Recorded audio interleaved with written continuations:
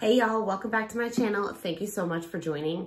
If you're new here, my name is Jenny. So thank you for joining and coming to my channel. If you're not new, thank you so much for coming back. I really appreciate the support and y'all are just awesome. So for today's video, we are going to be unboxing BoxyCharm. Y'all know how obsessed I am with this. I love this subscription. And by the way, if you notice my nail, I'm so sorry. I still haven't fixed it. Um, it almost blends in like a little, you know, gel top coat, but then I got these other long ones. I had just been so busy with work and it just always gets in the way with all of my fun. Excuse me? Yeah, I have to go get it done. And the girls on vacation too, and I was actually like, just got them done. So it was like a really annoying time for it to have broken. But anyways, enough with all that, you know, first world problems. so anyways, if you like to see BoxyCharm unboxings, and then just keep on watching.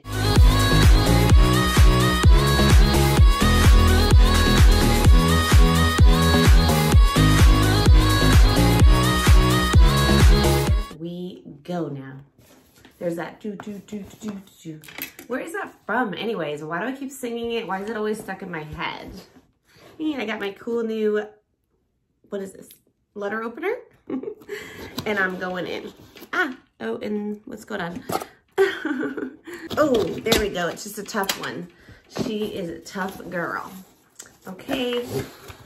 Hello, Charmer and I did not see the card on top. So I did get a virtual card. So I actually got a spoiler and saw what was in my box. But then I heard people were getting the virtual cards and then they weren't really what was in their box. So I was like, well, I don't even know then. I do know of one thing that's in my box because I did choose it. And it is, hmm, I like the way everything is looking in here though. The first item is this iconic London palette I saw it on the choice and was like, oh, I have to have her. She's beautiful. She's thick too, y'all. She is a big girl and I love her. And I'm living for everything about her with this pretty coloring. But most of all, this. Whoa, I love sparkle and shine. So this is right up my alley. These colors are right up my alley. I'm really, really, really obsessed. That is so pretty and I can't wait to try it. If only I could get better at doing makeup. Oh, sorry. And then maybe I could actually come up with a really awesome look for y'all. So we will see. I'm gonna go ahead and get my virtual card and I'll be right back. Okay, so I have the card and it's telling me that this Iconic London Day to Slay eyeshadow palette is worth $62 and you can create endless beautiful looks with these 20 highly pigmented shades. These velvety soft powders include a mixture of matte shimmers and glitters for flawless day to night looks. Um, I, again, I'm not sure how I feel about this virtual card. I'm actually a little bit disappointed in it because it spoils the whole um, unboxing, like, to myself. Like, even if I wasn't doing this YouTube channel, I really, really enjoyed getting this box and being surprised what was inside of it. I thought that was always so fun. So that part kind of stinks, but then, of course, it's better for the environment and less waste. So I don't really know how to feel about it. but I, like I said, when I saw what I got, if it was really what I got, I was like, it was exactly everything that I wanted. So, oh, my variation also is variation number 41. I wonder if it's going to be a new thing because BoxyCharm didn't tell us. So I just still do not know at all. Okay, next we have these facial radiant pads, First Aid Beauty. And these are to help exfoliate, tone, and brighten. I definitely need some brightening. I got um, a lot of sunspots because I have been obsessed with the sun my whole life. And yeah, no smell, so I like that. First Aid Beauty is actually a beauty brand that I had talked about in one of my last videos. And it's um, really good for people with sensitive skin and eczema, so definitely could benefit from that. Let's see with our virtual beauty card. It is a daily treatment pad that contains the right amount of lactic and glycolic acids to safely and effectively effectively, exfoliate, tone, and brighten all skin types. Regular use of these pads will smooth and the skin's texture, providing a perfect canvas for flawless makeup application. Definitely need that. Love the idea of that. And this little jar of them, which is a full-size product, is $16. Actually, all of BoxyCharm is full-size products. In fact, this base box you get for $25 and is five full-size products that you receive. And I'm obsessed. I love it, love it, love it. I told you guys that. I love it. So this is something else I was dying to get because if y'all have been watching me for a little while, you know that I'm obsessed with brushes. Like, super duper love brushes. I have tons of brushes. I probably don't need any more, but I love them. So I'm really excited to have gotten these. And these are the Alamar Cosmetics Complexion Brush Trio. This vegan and cruelty-free three-piece brush set comes complete with a complexion brush, a bronzer brush, and a brightening brush suitable for all skin types, delivering a flawless look. Okay, and these are worth $36. Okay, awesome. I think that's a good price point for some good brushes for free. Um, you know, I'm a frugal girl, so I always prefer them to be less, but I think that's still totally affordable. So I wonder if this is the complexion one. Does it tell us? Oh, bronzer. Just kidding, bronzer. I guess I didn't open the other ones to even know.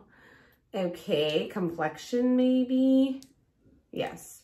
So complexion. I feel like this is the one I would use my foundation for. I like a flat brush personally. And then I like an angled to do like a, ch a chiseled contour style bronzer. So I you don't have to use brushes the way they say they are. You can use them how you want to use them. And that's one thing I was caught up on when I first started my makeup journey all these years ago is I didn't know that. I always thought there was rules to makeup and there isn't. So you can do what you want. So this is the brightening brush. And I do see this being great for like putting powder under, you know, setting your powder in these fine areas. I think that'll be really good. So I'm super excited. I'm gonna try these out today for you. But of course, I'm trying out everything for you today.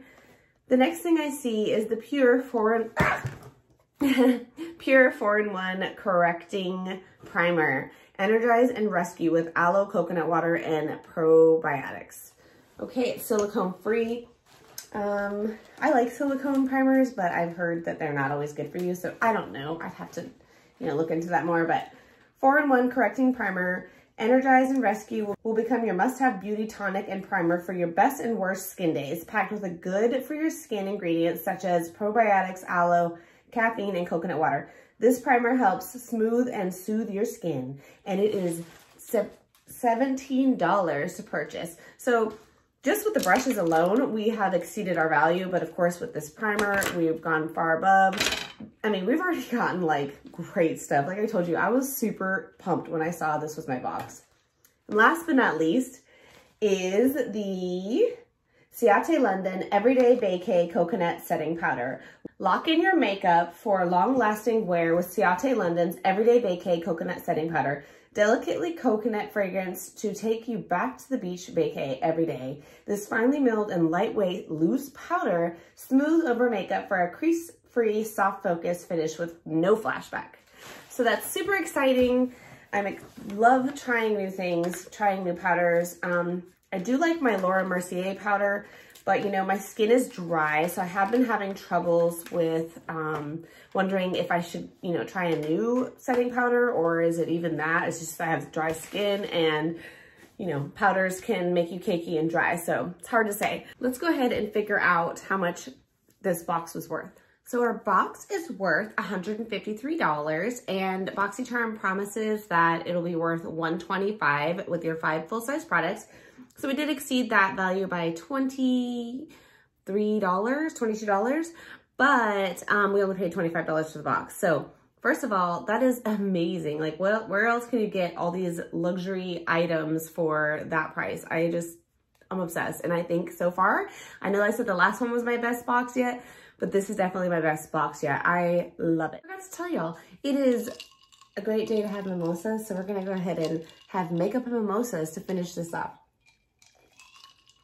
Cheers to being off, a day off. What a blessing. So yeah, let's go ahead and get started. And I'm gonna start out with the Pure 4-in-1 Correcting Primer. Oh, okay. It is a little runny. Mmm, it smells fresh and feels good. It is actually not thick at all, which I'm a little bit shocked. I'm used to a silicone based primer, so maybe that's why it's not as thick, but This is probably perfectly great. And let's give it a whirl. It feels good on my skin. Also, I'm going to use some clips and clip my hair back. I'm gonna go ahead and do my complexion with our complexion brushes that we received. I actually, like I said, wanna use this brush to do my foundation because for me, I like to use a flat brush and I normally use this brush that I got in a BoxyCharm a few, and actually it's from BoxyCharm, but my sister gave them to me years ago. And I love that brush. And as you can tell, it's very loved on, it needs to be cleaned.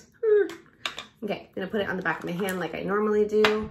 A few pumps, might be running out. And let's see. All right, this so far, the brush feels like a decent coverage. I still feel like my Luxie brush has a better coverage, but um, I'm sure it's still workable. And once again, I forgot to put my concealer first, which I typically, oh yeah, see this really sucked up a lot of product. So maybe that's why this is not the right brush to use. But like I said, you could do your own thing.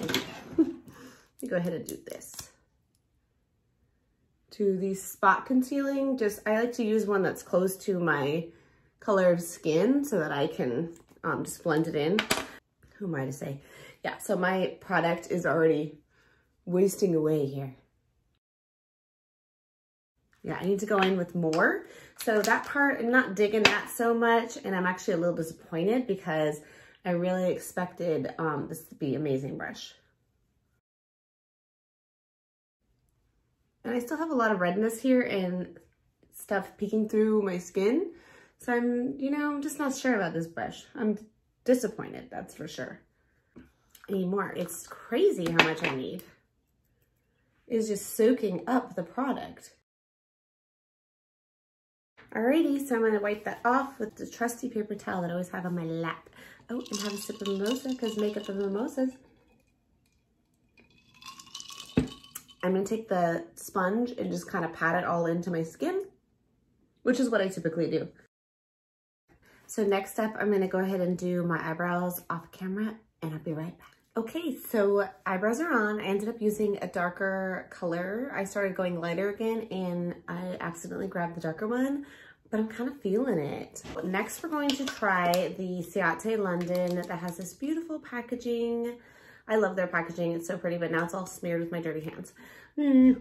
And it is the Everyday Vacay Coconut. I'm curious to see if it smells like coconut. I personally love the smell of coconut, but I don't necessarily love my products that I'm gonna put on my face to smell like anything because, you know, I do have allergies and I don't know, I just don't wanna be overwhelmed with the smell of anything because you never know how my skin will react. So this should be interesting. First, mimosa.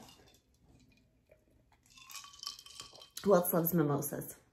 If you know me, you know I really do. But I've been cutting back. Put some in the cap. It is a translucent powder. It's very white.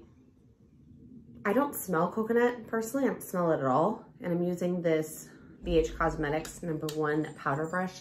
I don't use it too often, but I'm gonna tap off a little and apply. Okay, so translucent it is. You could definitely use this as baking. And the whole purpose for translucent powders are so that you can, whatever foundation color you chose, you can keep that color. And you don't have to change it with the look of your powder. So I think that's pretty cool. I don't smell coconut. I've heard people say they smell it and they smell it once they put it on the brush but I don't, I don't smell it still at all. I'm going, I put some over my eyebrows because I like to lighten them up a tiny bit. And I'm also gonna put some over my eyelids. I did use a little bit of concealer, which is what I normally do on my eyelids. And I just have a little bit of powder on. I am trying to just spend time with my family today, so I'm not trying to overdo it with my makeup, which just wait and see. This will probably end up with a fully overdone makeup anyway, because that's the girl I am. I like this. Feels good on my skin. Actually feels, ooh, it feels really good. Maybe I do need a little more. You can bake with this, like I was saying, but I'm not really a baker because I have dry skin. So for me, baking doesn't always work out well. So Ciate London's Extraordinary Powder is pretty good. I do bake, although I say I don't. I do bake sometimes right here so that I can have that nice sharp chiseled line. To use this ColourPop Pretty Fresh and just kind of set it all in. Now this smells like summer. Mmm. Mmm. Mmm. And press it into the skin. Super dry under eyes. Gotta be careful. Need lots of moisture. Send moisture, send help. Now I'm going to dive in to doing the rest of my complexion and get on with the eye look. going to use my Too Faced Natural Face palette. I use this every single day. I really love it. See, I've hit pan, and again, I love hitting pan. It just makes me feel so like, like good. I forgot to use this brush to do this. Whoops. but here we go. I'm gonna dip it into my bronzer. This palette, y'all, smells like coconut. That's what coconut smells like. And I'm going to bronze my cheekbones. Ooh, that does pick up pretty well.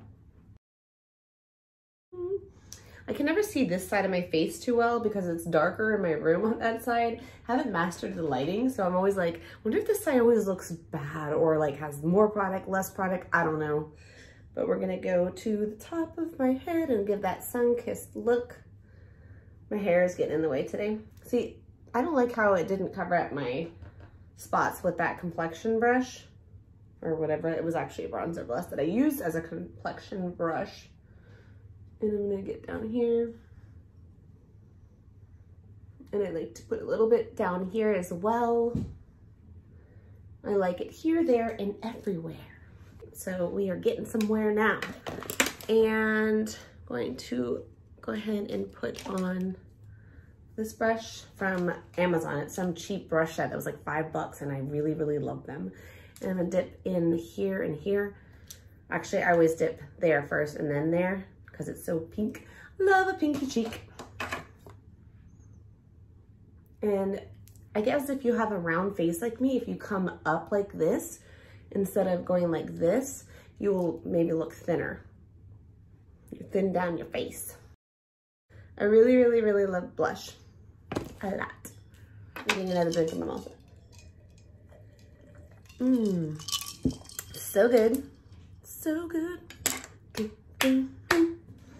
I'm going to head and use my MAC Hyper Real Glow and put on my highlight. To use this brush that I got from Ipsy Bag there's that pan getting bigger. Use it, girl. Use it. You got so much. I went too high, but that's okay. Woo, girl. Yes. Yes, girl. Yes. I feel like I'm coming to life as my makeup gets laid down. Mm -hmm. Yeah, just a simple look. No big deal. And let's move on to the eyes. I am not gonna go crazy on the eyes because I've been on here for a while and you're probably ready for this to get wrapped up. Moment we've all been waiting for, the iconic London Day to Slay eyeshadow palette. Do, do, do. Okay, I'm going to start out with this crease brush and let's go in with In the Nude.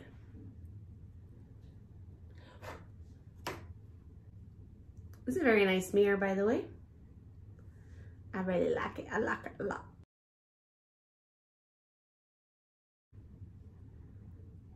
I'm gonna deepen the crease with Taupe de Taupe. It reminds me of something like from Europe, iconic London, like Tour de France. Let's go in with same brush because I just, oh, it's there, I see it, but I feel like it's so fair that I'm gonna use the Bellini color. This peachy, pretty, that one. Ooh, yes. Ooh, I really love that. Oh, I love it so much. And then bring it over here. Wow, I love that so much.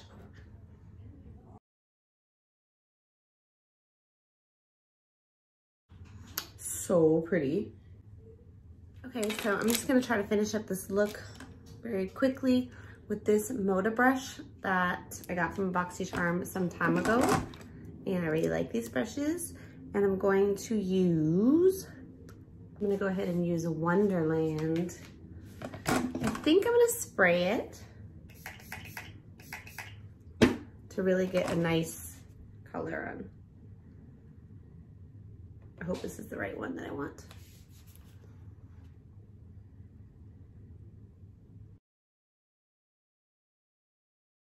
I knew it would be more pink than I wanted and I would rather it be more peach. So I really like it though. I like it a lot.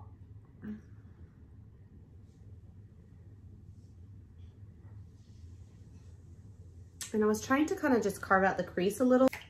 And I'm gonna do the other eye. And we are almost done. Okay, I'm just gonna take this brush that I originally was using and just kind of blend it with whatever is there. Blend two colors together to kind of soften the edge and make it look more finished. I love a good pink eye and I could definitely put some liner on. I don't want to though. I want to rock these eyelashes that I just got done a week ago that she did a really amazing job. They definitely are nice and full and I might as well take advantage of them looking gorgeous, darling, while they do. And take this real quick, kind of blend it too. I'm super duper obsessed with this color. Like, oh my gosh. This is definitely my favorite new color.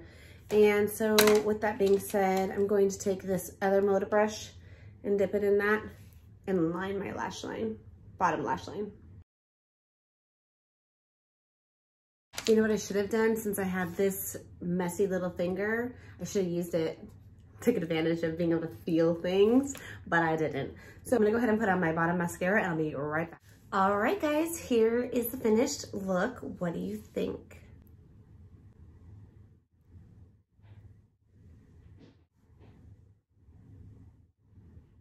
I think I love it. It is a very pretty soft glam look and pink has always been one of my favorite things to wear.